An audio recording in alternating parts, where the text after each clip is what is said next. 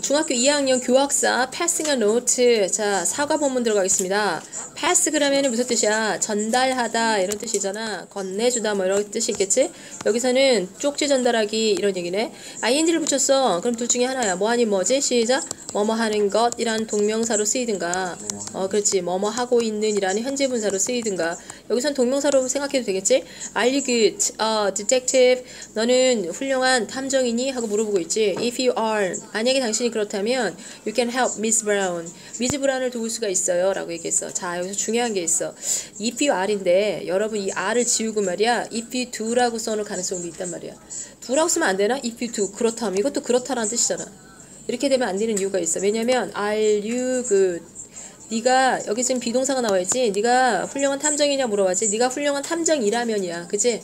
그러니까 do를 쓰면 안 되고 뭘 쓴다? 알 써야 된다. 뭐가 생략된 거야? If you are a good detective가 생략됐기 때문에 are를 써야 된다. 이거 시험에 나올 강력한 후보. 자, 그 다음에 you can help Miss Brown. Miss Brown을 도울 수 있어요. She's a middle school teacher. 중학교 선생님이신데요. She sometimes sits study hall. 자습실에 앉아 계신데 있잖아. sometimes가 나왔네. sometimes는 중학교 2학년까지 아직도 중요한 70% 확률이야. 무슨 부사? 빈도부사. 빈도부사의 위치는 어디다? 조비 뒤? 일합. 그렇지. 여기 이제 일반 동사니까 일반 동사 앞에 나온 거 sometimes. 근데 가끔 sometimes가 왜 맨 앞에 나올 수도 있지. 그거 맞아 틀려? 맞지. 부사는 부사니까 뭐 앞에 서도 상관없어요. 자, 그 다음에 주어가 3인칭 단수는 여전히 중요해. 쉬지. 여기 왜 sometimes가 있으니까 자꾸 이걸 놓칠 수 있는데 sometimes 시치에다 별표. 자, 근데 여러분 이거예요. to make sure. 이런 걸 갖다 우리는 100%라고 하지. 거의 중학학생들이 꼭 알아야 되는 구문 중에 하나야. make sure 구문. Sure이 무슨 뜻이지? 시작. 반드시 뭐뭐하다. 또 무슨 뜻이 있지? 꼭 뭐뭐하다. 확실히 하다. 이런 뜻을 가지고 있어. 근데 이 sure 다음에는 뭐가 나올 가능성이 높아? that절이 나오지. that절이나 to부정사가 나오겠지.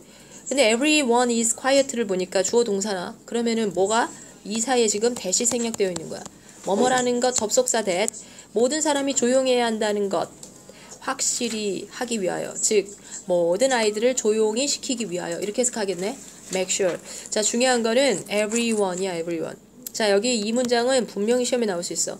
자 일단 to부정사를 정리하자. 이거는 뭐하기 위하여라는 to부정사의 부사적인 용법이야. 자 질문. 그러면 위하여란 뜻으로 쓰일 때 이 to는 뭐랑 바꿀 수 있다. 시작. in order to 그렇지. 바로 이게 실력이야. 그 다음에 so as to 이거랑 바꿔 쓸 수 있다더라. to make sure, in order to make sure, so as to make sure. 그 다음에 이제 everyone이야. everyone은 항상 무슨 취급한다? 단수 취급한다. 그래가지고 everyone은 모든 사람임에도 불구하고 R을 쓰지 않고 뭘 썼냐면 is를 썼다. 별표. 그 다음에 이제 quiet에 대해서 얘기하자. quiet는 조용한이지. 이거는 무슨 뜻이야? quiet? 어, 꽤 매우란 부사지. 그래서 가끔 나와. 항상 나오는 건 아닌데 이것도 시험에 나올 수 있다. When Miss Brown was there yesterday. 어제지? 어제. 과거부사가 나왔네? 과거부사가 나와 무슨 시제 쓴다? 과거 시제 쓴다. 자, 어제 거기에 있었을 때 a little problem. 작은 어떤 작은 문제가 어떤 문제가 happened 발생했다. 그리고 그녀는 그것을 풀기를 원했다. 자, 이시 가리키는 걸 영어로 쓰쇼. 시작. a little problem. 근데 왜 이시라고 받았어? 이걸 갖다가 대물라고 받으면 안 되나? 그것들? 안 되지? 명사, 어, a little problem. 단수명사잖아, 지금. 단수명사를 말하는 거니까 이수로 받아야지 대무로 받으면 안 된다. 이런 것도 중요하다. Here is a story from study hall yesterday.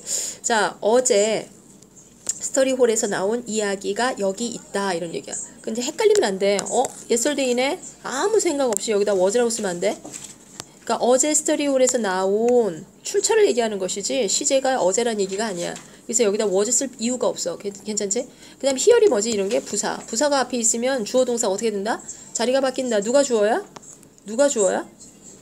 어, study the the story부터 끝까지가 주어네. 그 다음 누가 동사야? is가 동사네? 주어 동사가 자리 바뀌었어. 근데 왜 R을 안 쓰고 is 썼냔 말이야. 스토리가 한 개니까. the stories가 아니라 스토리잖아? 이런 거 볼 수 있어야 되고. 그 다음에 Dave likes Sally a lot. 데이브는 많이 셀리를 좋아한다. 3인칭 단수니까 당연히 S지. 잠깐, a lot. a lot이 시험에 나온 적 있어. 시사하게 나온 적 있어. 되게 그 문제 보고 내가 웃었는데 a lot이 뜻이 뭐야? 만, 은이야, 만이야? 많이. 이게 나온 적 있어. 만은은 영어로 뭐야?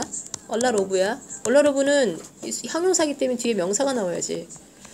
근데 사기 때문에 뒤에 뭐 없어도 돼.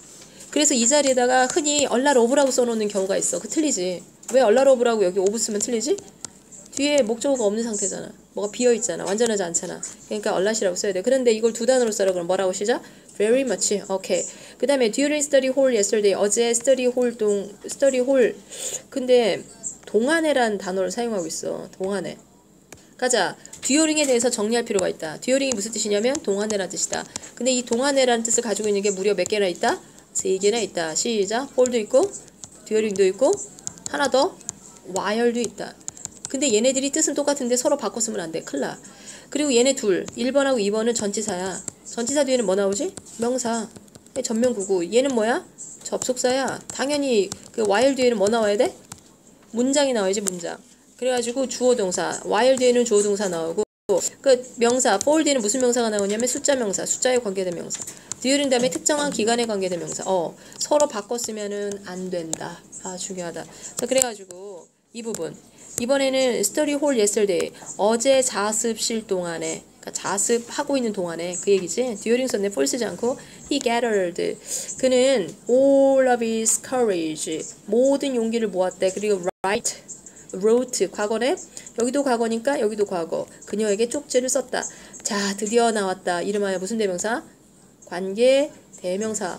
관계 대명사 같은데? 음. 자, 여기 관계대명사 which가 나왔네. 관계대명사가 나왔는데 이게 무슨 격 관계대명사를 생각해야 돼. 시작. 이게 주격 관계대명사야. 그 이유는 관계대명사 뒤에는 뭐가 나온다? 불완전한 문장이 나온다. 맞지? 관계대명사 앞에는 뭐 나온다? 명사, 선행사 나온다. 그래서 명, 관, 불. 근데 딱 보니까 뒤에 뭐가 없어?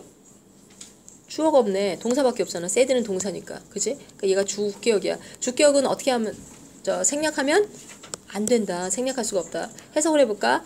어, said가 말했다. 쪽지가 말한다는 게 웃기잖아. 쪽지가 말했다기보다 쓰여있다라고 해석하면 되겠지? 뒤에 거라고 쓰여 있는 쪽지를 그녀에게 써서 보냈다. 이 얘기야. 근데 뭐라고 말했냐면 셀리, let's go to the movies on Saturday. 일요일날 영화 보러 가자. 아, 진짜 창피했겠다. 그런데 말이야. let's가 나왔네, let's. let's 동그라미. let's는 뭐의 축약형이다? 시작.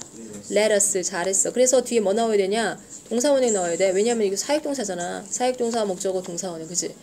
자, 그래가지고 우리 영화 보러 가자. 그러면 let's를 두 단어로 써라 그러면. 시작. 보러 갈래? 어, we? 세 단어로 쓰면 why don't we? 그렇지. 머리 좋아. 자, 그 다음에 이쪽으로 가자. on Sunday나 요일이나 특정한 날짜 앞엔 전치사 뭐 쓴다? on 쓴다. 여기다가 어, in 쓰지 않도록 조심해. in은 언제 뭐 나올 때 쓴다? 큰 시간, 큰 장소. 도시나라, 계절, 달, 연도. 이런 거 여름에 그러면 in summer잖아. 계절, 달, 연도. 이런 거 나올 땐 in 쓰고 on은 요일이나 날짜가 나올 때 쓴다. 알고 있지? 자, 그다음 note. 그 노트는 pass through. pass through는 지나갔어. 거쳐가는 거야. 누구를 거쳐갔지? pass through four students. 네 명의 학생을 지나갔대. Before he got to Sally. 있잖아. get to에다 동그라미. get to는 무슨 뜻이냐면 get to 다음에 명사가 나오면 무슨 뜻이다? 어디 어디로 가다라 뜻이야. 어디 어디로 가다. 도착하다 이런 뜻이야. 어디 어디로 도착하다. How can I get to the bank? 은행 가려면 어떻게 해요? 뭐 이럴 때 get to. 근데 있잖아. get to가 또 조심해야 돼. 뒤에 동사 원형이 나오잖아. 그러면 뭐뭐로 가다라는 뜻이 아니라 뭐뭐 하게 되다라는 수거야. 뭐뭐 하게 되다. 그래서 내가 너를 알게 되었다 그러면 I got to know you 이렇게 쓸 수 있어. 자 명사가 나올 때 뭐뭐에 도착하다. 다다르다 이렇게 해석해. 그러니까 그것이 셀리에게 도착하기 전에 네 명의 학생을 거쳐갔다. 또 중요한 게 뭐냐면 시제의 일치. 시제가 항상 맞춰줘야 된다. 어떤 시제가 나올까 생각해야 돼. 자 여기 지금 과거네. 여기도 passed through 과거지. 자 just as Sally got the note. 자 just as는 뭐시 Sally 그 노트를 받은 순간에 미스 브라운이 it away 그것을 하셨습니다. 자 질문 여기 여기가 바로 100%야. 니네 시험에서 지금까지 배운 것 중에서 가장 중요한 게 지금 이 부분이야. 이런 게 무슨 동사지? 일명 무슨 동사? 이어 동사. 이어 동사가 뭐야? 원래는 take가 동사잖아. take 뒤에 뭐가 나왔어? 목적어 자리는 일반 동사 뒤에가 목적어 자리잖아. 근데 희한하게 take가 away라고 하는 부사랑 같이 어울려가지고 또 다른 다른 take가 먹다, 타다 여러 가지 뜻이 있는데 away를 붙이면 뺏어가다는 뜻이 되거든. 원래 take 뒷자리가 목적어였는데 take가 away랑 붙어가지고 새로운 동사가 돼서 이 뒷자리가 목적어가 됐네. 그러니까 목적어 자리가 몇 개야? 목적어를 자, 목적어를 여기다 써도 되고 여기다 써도 된다는 어떤 문제가 발생하네. 그런데 명사 목적어는 여기 써도 되고 여기 써도 돼. 맞지? 근데 대명사 목적어는 부사 뒤에다 쓰면 안 되고 대명사는 부사 앞에만 써야 된다는 원칙이 있어. 그 원칙 알고 있지? 오케이. 그래서 그 원칙대로 한번 문장을 만들어 보잔 말이야. 자, 여기 봐 보자. take it away. take it away를 아, took it away니까 한번 써 볼까? 시작. took away it이라고 쓰면 된다 안 된다? 이거 안 된다. 이렇게 써 놓겠지. 시험에 나올 가장 유력한 후보 중에 하나야. 자, 그 다음에 after reading the note 그 노트를 읽은 후에 she wanted to find the students 그녀는 자 want 다음에 뭐 나온다?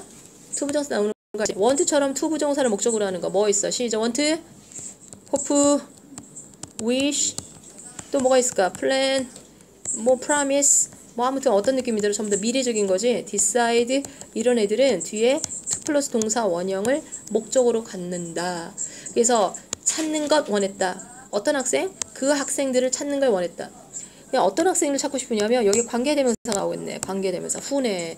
자 있잖아. 진짜 중요한 게 하나 있는데 관계대명사 후를 훔으로 바꿨으면 된다 안 된다.